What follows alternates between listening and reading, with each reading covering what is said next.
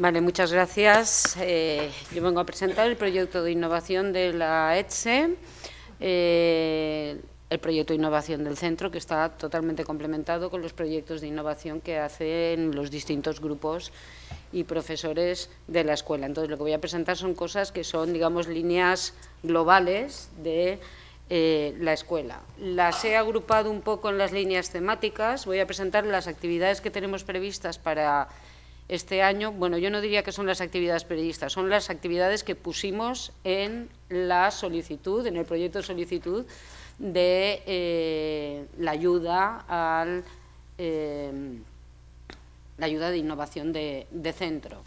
Eh, y cuando digo que no son exactamente las actividades, que probablemente habrá otras actividades que también podríamos haber calificado o haber metido en este saco.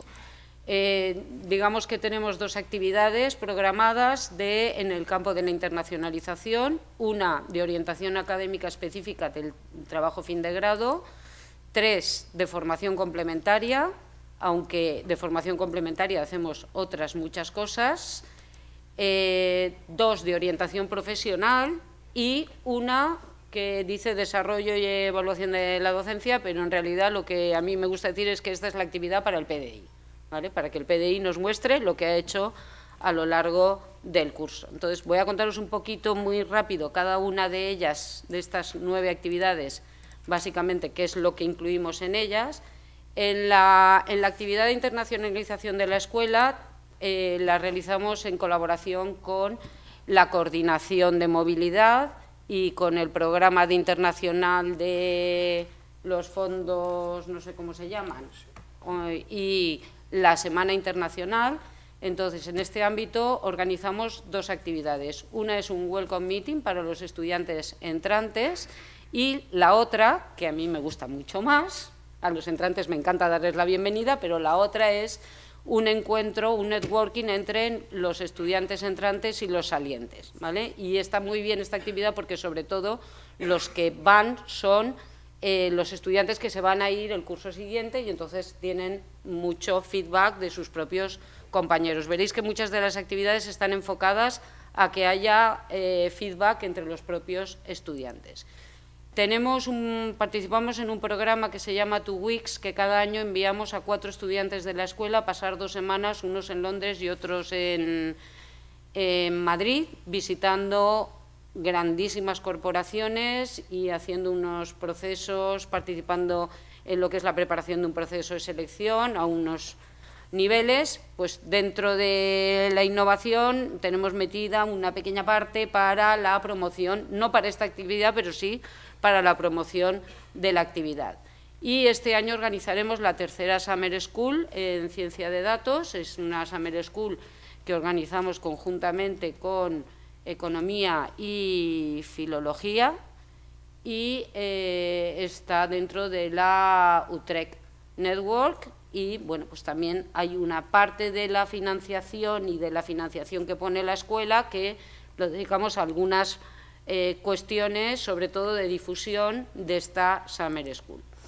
En el campo de la internacionalización tenemos también un programa para eh, el incremento de la docencia en inglés, y concretamente lo que tenemos previsto este año son hacer materiales multimedia en inglés para ponerlos en la web y en las redes sociales y en el canal YouTube de la escuela y luego estamos preparando materiales de difusión de nuestros estudios en inglés.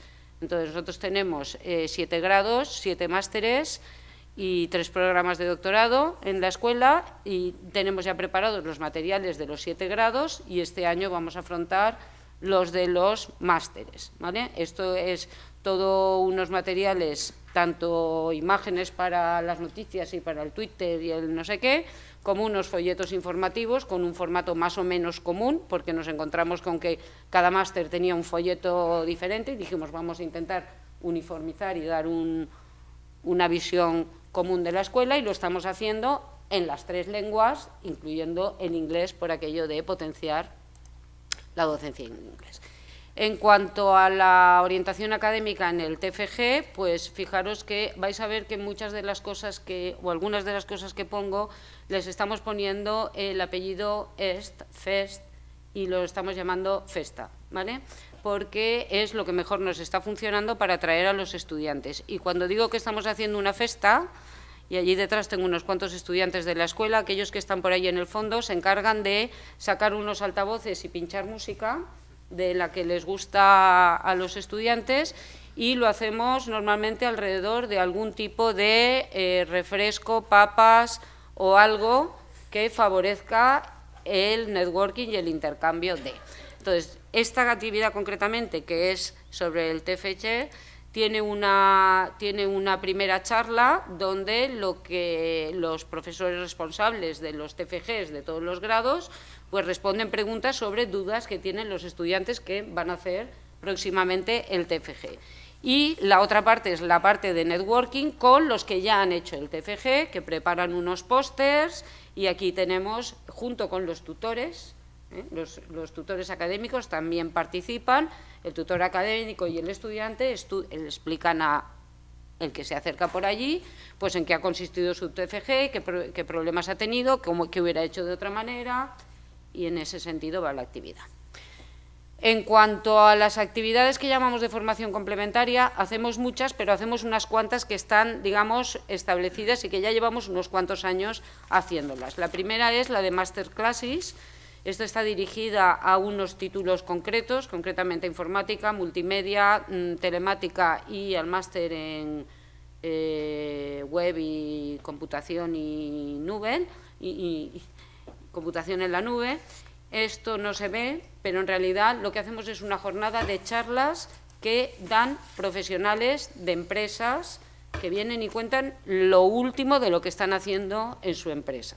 Es formación complementaria y además está hecha, o sea, mm, los estudiantes han de acudir porque forma parte de eh, alguna asignatura, de la calificación de alguna asignatura, por lo del reconocimiento y demás. Y esto es todo un día, que hay un montón de charlas a la que acuden profesionales de empresas. En cuanto a los profesionales externos, desde hace ya, esto ya no existía ni siquiera la innovación, hubo un momento en que la Consellería hizo un, ¿cómo se llamaba? La formación a la carta, formación a la carta, que eh, la Consellería daba un dinero para que trajéramos profesionales a las universidades a dar formación. Nosotros empezamos a trabajar ahí, y después derivamos ese programa, que ya no lo tiene la Consellería, a la parte de innovación y concretamente esto consiste en la participación de profesionales externos en docencia arreglada en el grado.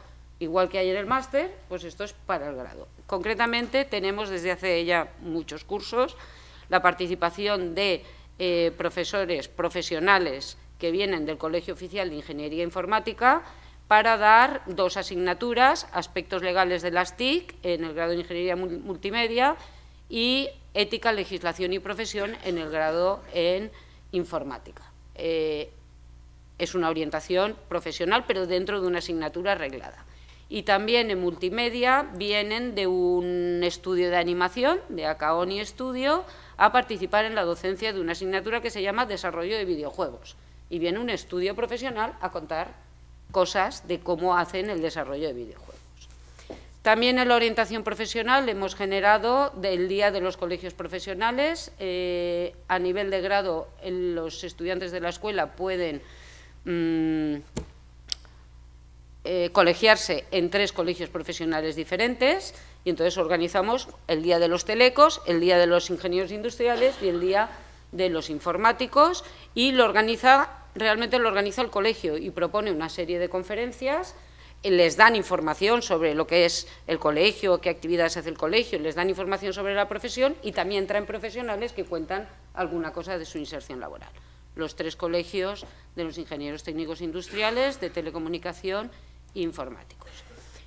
Bien, aquí aparece la Talent Fest, esta es en este momento para mí la actividad estrella, esto es nuestro foro de empleo, eh, teníamos un foro de empleo en la escuela que llevábamos haciendo cuatro o cinco años, con mucha participación de empresas muy interesadas en venir y con muy poca participación de estudiantes. ¿vale? Y era un foro que duraba toda una jornada, mañana y tarde. Entonces, de repente, pues mm, dos, sobre todo uno de los subdirectores del equipo, que siempre está pensando en cosas diferentes, pues propuso eh, sacar el foro de empleo del el stand de cada empresa a una fiesta abierta a todo el estudiantado. Y entonces ahora organizamos la Talent Fest con un lema que es las empresas buscan tu talento y vienen a hablar contigo. Lo organizamos simultáneamente con la jornada de formación sobre las prácticas en empresa, con lo cual ahí van todos los estudiantes que al curso siguiente van a hacer prácticas en empresa, primero, las prácticas en empresa son obligatorias en todos los grados. Hacen primero esa, esa charla y luego se ponen en la zona de cafetería sin stands, a cada empresa le damos una mesita de la cafetería redonda, todo el mundo de pie y lo que sí que hacemos es una paella, un platito de paella y todos hablando, pues se ponen mm, alrededor y la verdad es que llevamos dos años haciéndolo y hemos tenido, yo creo que mucho éxito, las empresas están muy contentas y los estudiantes también. Les gusta muchísimo más este formato abierto, allá están los chicos poniendo la música, que no el de entrar y dirigirse ellos personalmente a un stand que parece que les resulta un poco frío. ¿Qué hacen? Recibir currículums. Mm, el plato de paella va acompañado del permiso para eh, entregar el currículum, ¿vale? Pero el plato de paella es también para las empresas, o sea, están todos allí pues compartiendo ese momento. Y además es, un, es una actividad muy corta, es una actividad que dura menos de dos horas. ¿eh?